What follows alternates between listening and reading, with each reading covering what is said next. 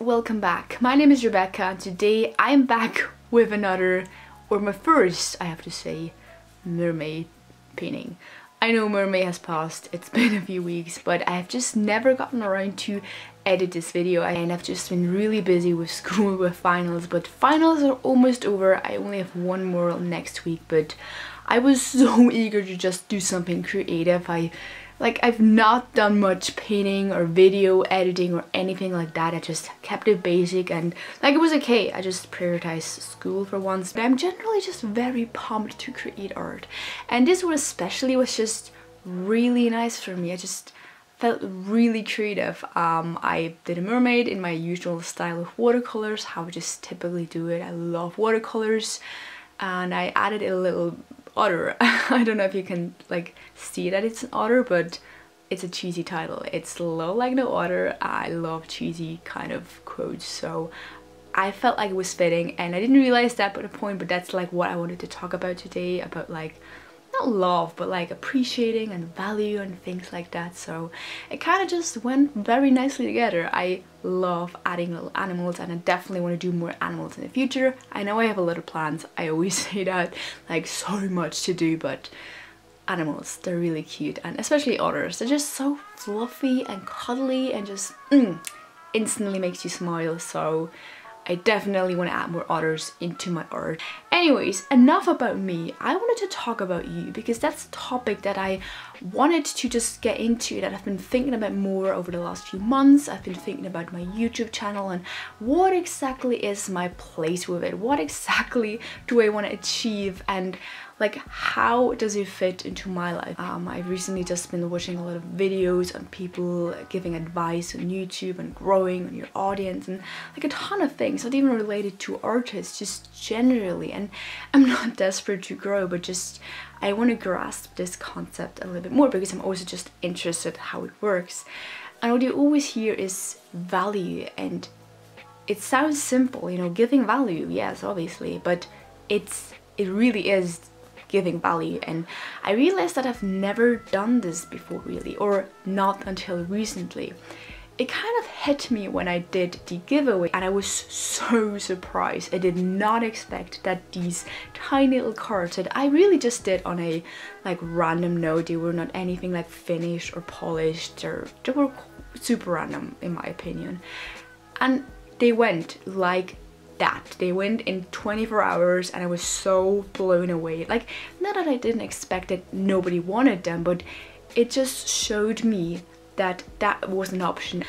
The biggest thing I realized was that I love giving things. Yes, obviously it's nice if people appreciate your art and you get compliments and all of that, but really I strive when people people get happy when I do something that sounded weird but you know what I mean. It's something I do all the time in a genuinely loving way. I work as a nurse. I work in care. This is what I do all day long. I listen to people. I take care of them. And this is truly what I love. And I don't know how why it took me so long to realize it with YouTube because I can do the exact same thing. I can take care of people. I can give value to people Frankly, I'm not quite sure what that means right now for me because I'm not really that sure if people want to see tutorials, if they want to see like, I don't know, advice or something because I always thought that I was not at a point where I'm an expert but I realize now that everybody has something to give and everybody wants something. So I just have to figure that out what that is and what makes me happy. But what definitely does make me happy is giving so I don't think I will be too restricted in that area. Um, maybe it will be a little bit random. I definitely have to like figure things out. I have to try things out like what works for people and you what audience because that's always something people talk about like get your audience and for now I always thought like well I'm an artist I do artist work I do like drawings I do reviews stuff like that like what everybody does and, and it's totally okay if you do that but you have to think about just as a viewer, just plain and simple. You want to get something out of it. Like there has to be something why somebody would click on a video. If it's awesome artwork, then yeah, that's probably a good reason. But giving something makes sense or at least it makes sense for me. I always thought I had to put myself more out there, you know, be more extrovert, be more outgoing and showing what I can and obviously yes I have to be confident even now but I realize now that I should be confident in what I can give and not in what I should have if that makes sense. I'm not sure if I can make sense of this but I just I changed my mindset. I'm not somebody who like really needs a lot of recognition. I don't need a lot of praise and things like that and I I, I guess I put myself down because of that, but I realized that I can flip this thing around. Um, it would make me really happy if I can help somebody. I, I want to focus that on my channel, that I want to have a vibe in my channel overall. I want to give the vibe of positivity. I want to motivate people to do or to start or to be confident in yourself that they can do it, that art is a beautiful thing. I want to get to the core of thing. It's not about being perfect. It's not about doing a certain style or doing a certain thing. It's just building up confidence in people that they can do what they want. It, it even doesn't have to be just about art. It can be about anything in life.